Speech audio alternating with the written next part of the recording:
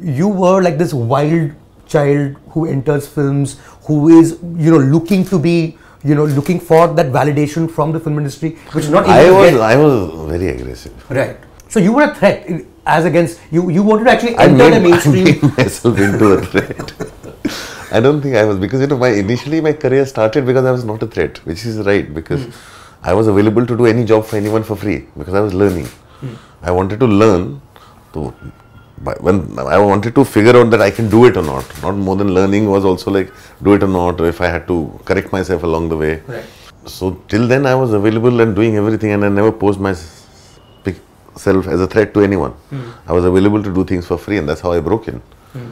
because I was doing everything for hmm. anyone and everyone. But then I became a threat post in the early 2000s hmm.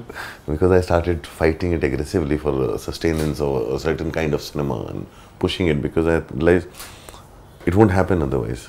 Because the 70s and 80s are not going to come back. Cinemas were changing. Hmm. Because I, at that time, if I had to see a film and the kind of film I like to watch, I had to travel all the way to town. and It would be in one cinema, but it would be running in that one cinema for 20 weeks, hmm. And and by 20th week it would be running in one cinema in one show. Yeah. So that was the thing, and and like that also started to be taken away from us. Hmm. So it was a massive fight, and then multiplexes came in to just get a film out there, to release it, to make people believe that it can work. It was very different.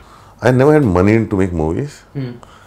so I developed my own way of making a movie, which I started with Black Fridays, shooting on the street in full public view.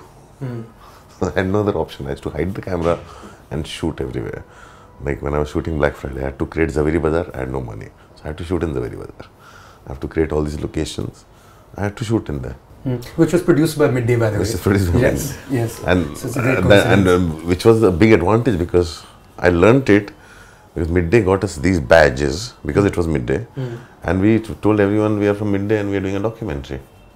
So in that whole process of shooting Black Friday, I learned how to shoot on the streets of Bombay without people ever finding out. So I made a language. The primary requirement for that language, I needed to work with people who are not recognized. Right. Right. So primarily, prim- my primary need was that. So I went looking for actors who were not known and were good actors. So not known actors can only sustain themselves. when they need to have screen presence and they have to be very good.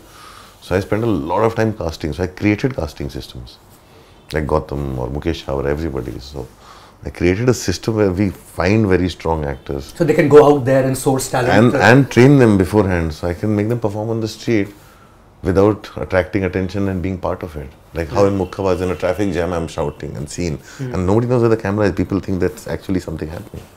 Right. So I developed my own technique of making a movie without money. Subscribe to Midday India. Get direct notifications on all our videos by clicking on the bell icon.